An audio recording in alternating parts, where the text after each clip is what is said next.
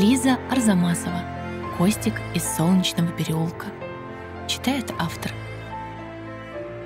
Компания Мета и ее продукты Instagram и Facebook признаны экстремистскими и запрещены на территории России. Глава первая. Про наш переулок.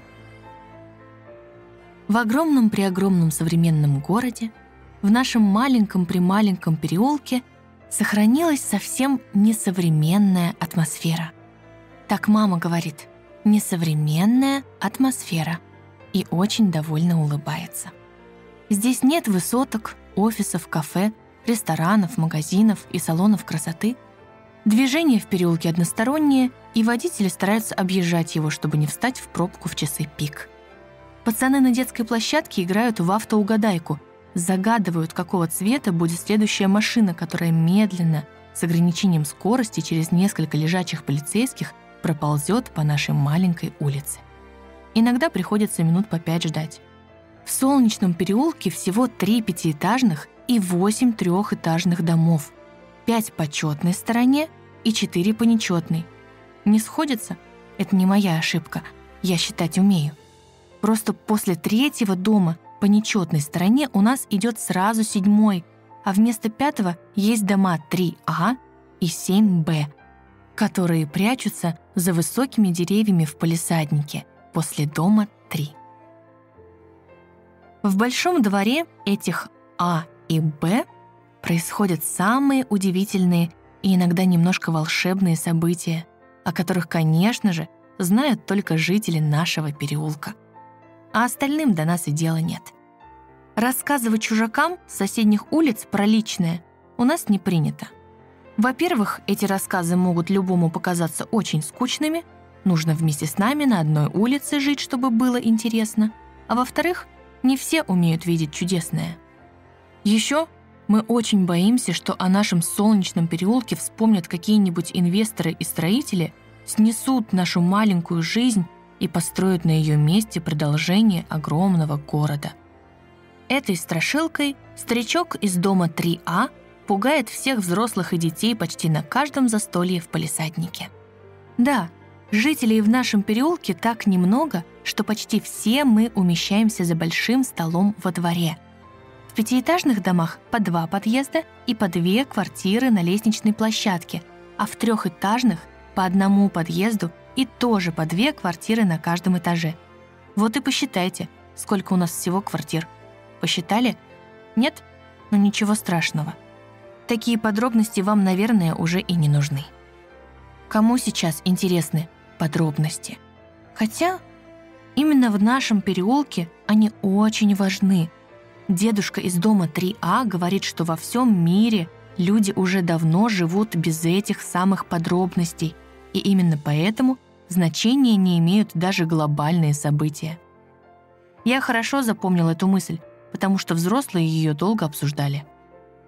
Поговорить о том, что же в большом мире никому больше не интересно, любимое занятие наших жителей за большим деревянным столом в теплое время года. Дети обычно бегают вокруг стола и рядом на площадке шумят, играют в разные игры, а я всегда сижу в беседке неподалеку и жду, когда подрастут Ира и Димка из дома 7 и станут называться подростками. Пока подросток тут один я, но мне совсем не одиноко. Я все еще могу верить в чудеса и уже начинаю понимать, о чем говорят взрослые. Раньше подростков было больше. Я не успела с ними поговорить по душам. Теперь они тоже стали взрослыми, а некоторые даже переехали, поженились там с кем-то, стали жить самостоятельно и... Наверное, их сожрал большой город, потому что они не приезжают в гости. Должен сразу признаться, что и подросток-то я почти. Так меня называют родители, потому что мне исполнилось 11 лет. Я хотел было сказать, что я еще ребенок, но вижу, как им хочется почему-то, чтобы я побыстрее вырос, как они гордятся тем, что я старше всех детей в Солнечном переулке, и решил их не расстраивать. Подросток, так подросток. Я знаю всех жителей переулка по именам и фамилиям. Только старичок из дома 3А ходит у нас без имени. Все его называют дедушка. Мне неудобно спрашивать, как его зовут. Если бы он хотел, чтобы мы называли его по имени и отчеству, он бы уже сто раз нам их напомнил, как любит напоминать про все остальное. Живет он в маленькой квартире на первом этаже, один, так что даже и не подслушать, как его родные называют. Несмотря на то, что все мы любим подробности, лишних вопросов у нас задавать не принято. Лишними моя мама называет те вопросы, вместо ответа на которые хочется заплакать или врезать. Два года назад я специально выучил и запомнил слова «бестактность» и «деликатность», которые очень любит мама. Но в школе они мне не пригодились. Если они мне вообще никогда не пригодятся, не беда. Я люблю узнавать новые слова и понимать их значение. Каждый житель Солнечного переулка ходит на учебу и работу в огромный город. Некоторым не нравится наш несовременный двор, и они убегают в центральные районы города, где все сверкает и шумит. У нас даже есть три пустые квартиры, которые продаются, но их никто не покупает. Мама говорит, что наш переулок — это уникальное место. Я ей верю, хотя я еще мало где бывал. Может, и уникальное.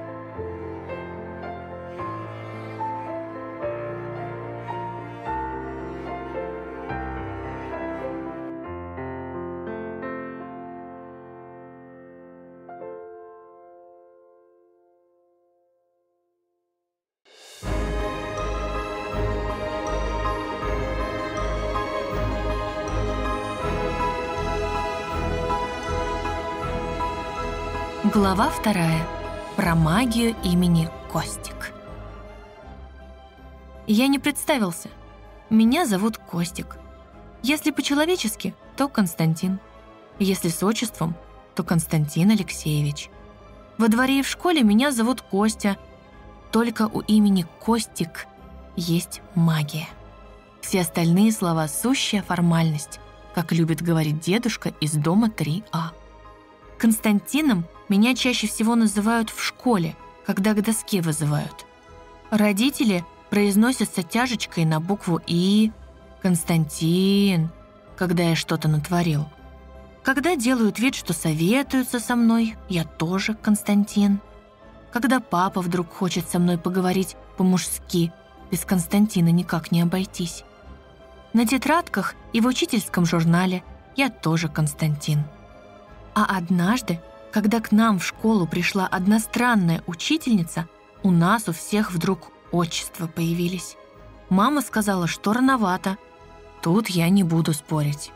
Когда на уроке я услышал фразу «А вы что думаете по этому поводу, Константин Алексеевич?», я даже не понял, что это ко мне обращаются. Нет, я в курсе. Я помню, что папа у меня Алексей – и что когда-то, когда я буду надевать серый костюм и ходить каждый день на работу в офис, меня будут звать по имени-отчеству. Сейчас не готов. Уж слишком это страшно, вот так сразу, без подготовки, стать Константином Алексеевичем. Учительница, кстати, у нас долго в школе не проработала. Она приходила на замену и вскоре вернулась в свой колледж. Костя – нормальное имя. Ничего особенного. Я себя обычно чувствую, когда меня так называют. Пацаны в школе иногда еще кричат «Костян», тоже норм. Я отзываюсь.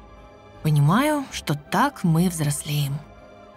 Однажды я одного взрослого соседа, который живет этажом выше, Костяном назвал. Он мне крикнул с балкона «Привет, тезка!» А я ему в ответ «Привет, Костян!» Он очень сильно смеялся, а мама сказала мне «не фамильярничай». Жестко так сказала. Пришлось гуглить. Искать, что значит это слово. В разговоре с моими родителями мне часто нужен переводчик. У папы я переспрашиваю, если что-то не понял, а маму не хочу расстраивать. Она думает, что парень в 11 лет уже все обычные слова знает. Я не уверен, что моя мама использует обычные слова. В школе бы мне сказали «не хами». Папа говорит попроще, но у него тоже есть те еще словечки. Мама возмущается и краснеет, когда он их произносит, и говорит, ну не при ребенке, оставь свой сленг из 90-х. Папа бурчит, мужик же растет. Ну и дальше у них начинается что-то про литературу и разное воспитание в семьях. Папе больше логики. Мама часто путается, называет меня то ребенком, то парнем. Я не уточняю, чтобы она еще больше не запуталась. Начнутся подробные объяснения, почему так, почему не так. Потом и вовсе разговор может до поэзии дойти. Мама у меня филолог, папа тоже умный. Я точно не уверен, но мне так кажется. В молодости он был спортсменом. Мама говорит, что спорт плохо влияет на интеллект, поэтому отдала меня в музыкальную школу. Папа очень расстраивается, когда я дома играю на скрипке. Он сразу уходит в беседку, если лето, поболтать с дедушкой из дома 3А. Дедушка ко мне неплохо относится, но когда папа несколько раз повторяет «Кого мы растим? Разве это мужик?» пиликает, как на пиле пилит. Дедушка никогда не спорит. Смотрит сочувственно и очень тяжело вздыхает. Значит, тоже не уверен, что мужик. Я не знаю, как должны расти мужики, и никак не могу понять, если папа с дедушкой знают, почему они по-хорошему с мамой не поговорят. Она вполне договороспособная – она сама так и говорит. «Со мной всегда можно договориться, я договороспособная». Ошибается. Нет, не всегда, конечно. У меня не получается. Ну так я еще и не взрослый человек. А эти двое... Непростая тема. Я много думал по этому поводу.